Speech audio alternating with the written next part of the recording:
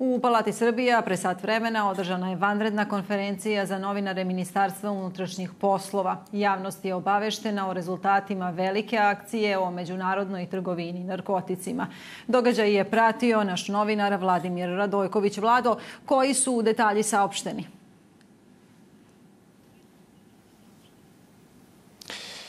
Tijana na vanrednoj konferenciji za novinare koju je organizovalo Ministarstvo unutrašnjih poslova saopšteno je da je srpska policija uhapsila vođe kartela najvećeg na Balkanu osumnjičenog za šverc više od 7 tona kokaina iz Kolumbije, Brazila i Ekvadora, ali i preko zemalja Zapadne Afrike ka zemljama Evrope tokom poslednjih godina.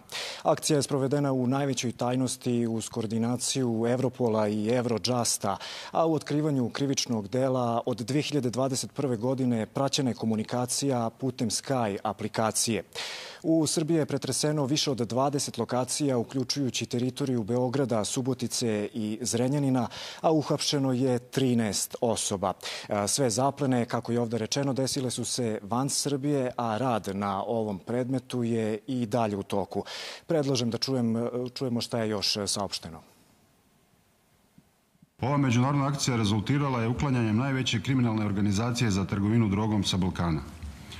U akciji koja je sprovedena u više gradova Republike Srbije uhapšeni su organizatori ove kriminalne grupe, MS i ML, kao još 11 osoba koje se sumnjuče da su bili vođe nezavisnih ćelija.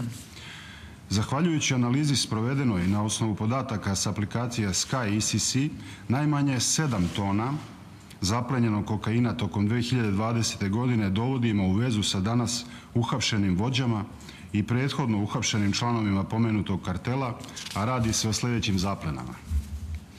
Oko 5 tona kokaina zaplenjen na Arubi, Holandski Antili. 1,2 tone kokaina zaplenjen u Hasseltu, Belgija.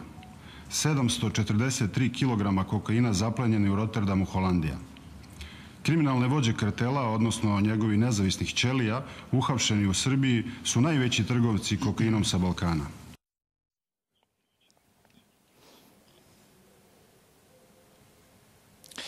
A u akciji hapšenja više lica u vezi sa zloupotrebama e, kojima je oštećena elektroprivreda Srbije. Privedene su još četiri osobe pod sumnjom da su oštetili budžet Srbije u iznosu višem od 76 miliona dinara. Oni se sumnjiče za utaju poreza i poreska krivična dela u okviru proširene istrage koja je već obuhvatila dvoje osumnjičenih koji se već nalaze u pritvoru. Tijana, toliko za sada. Studio. Hvala, Vlado.